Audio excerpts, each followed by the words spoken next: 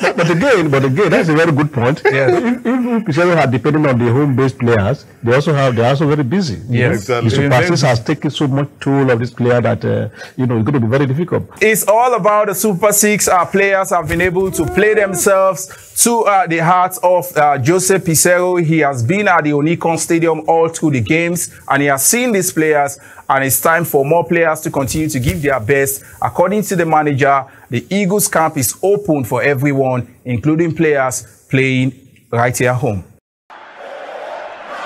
No matter the stage, there's still room for greatness. No matter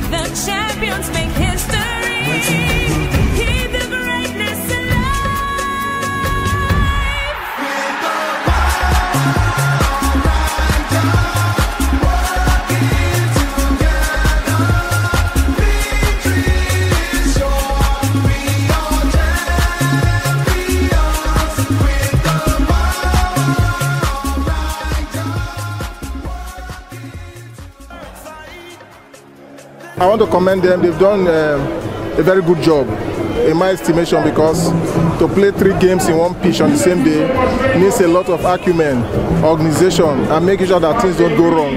I give them a lot of kudos. They have done a lot of good job. I think that uh, every team that has come here has capacity. Unfortunately, it is not the way you plan games at times that it goes. But however, I do believe that you know, as the games progresses, more will be seen and because the, the the points are being counted now a lot will be put in in subsequent games Yeah, we are getting it right. I'm very, very impressed because you can see that this is total football. The last match um, before uh, on Monday, um, Bender Insurance and the other team was super. You know, it was 2-2, but it was a fantastic game. You can see the official, you can see everything is really professional. I'm very, very impressed with the organizers of the game. Honestly speaking, they are doing very, very well, but the, the problem and everything lies on the Nigerian Football Federation to take their decision. Ibrahim Gusau is the one that have to take decision on what you want. So we are here, the FA, to come and support him for whatever he's doing. Uh, I think it's amazing what we've seen. Of course, naturally, there are grey areas to things like this. It's everywhere in the world. But on the balance of play, on the quality of preparation, on the level of assessment, I would say it's it's it's beyond fair. It's it's commendable um, what the championship playoff LOC has been able to put together um, in terms of readiness, in terms of um, the quality of play as well. I, I think I've seen some very, very proud moments as a Nigerian watching Nigerian football. Um, some of the plays have been absolutely amazing. Some of the footballers have really come up, um, you know, to be counted. I mean, because 100 million naira, apart from the money, it is that bragging right. We've seen fixtures between Bendel Insurance and Lobi. We've seen Remo Stars and Rivers giving us one of the best games we'll ever see on Nigerian football at any level.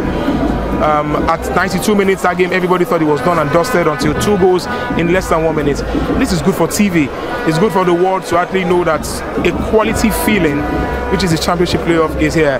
And I I like the fact that it looks like a very viable way to choose who's going to represent Nigeria at the continent. Truly a carnival of football is being in Lagos. The NPFL playoffs, as we know, the NPFL Super Six, finally coming to a close today with March, the five round of fixtures. We are looking at how well the IMC has done and how well they've been able to package the Super Six. Uh, Frank, we've talked about spectators. Even if you decide to throw the gate open, people are not willing to come watch. What exactly are the issues? No, first of all, let me commend uh, IMC for a job well done in terms of packaging, in terms of officiating, in terms of nation. Fantastic. I think the biggest problem now, the biggest challenge is bringing fans to the stadium. Okay? I mean, even during the league time, you can see that you have fewer people going. So let's be able to unlock that. There's a challenge there. I'm sure that it could be unlocked. Because there's no, when there's a match going on, there's nobody in the stadium to watch, it's no longer a match, you know.